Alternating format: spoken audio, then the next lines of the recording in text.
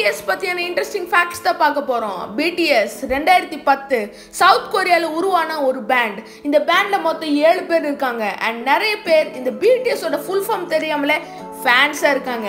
பிடிஎஸோட full form என்னன்னா ten boys அது மட்டும் இல்லாம பிடிஎஸ்க்கு பிஹைண்ட் த சீன் இன்னொரு பேர் வச்சிருக்காங்க. நம்பர் டூ பிடிஎஸோட ஃபேன்ஸை பிடிஎஸ் ஆர்மின்னு கூப்பிடுவாங்க.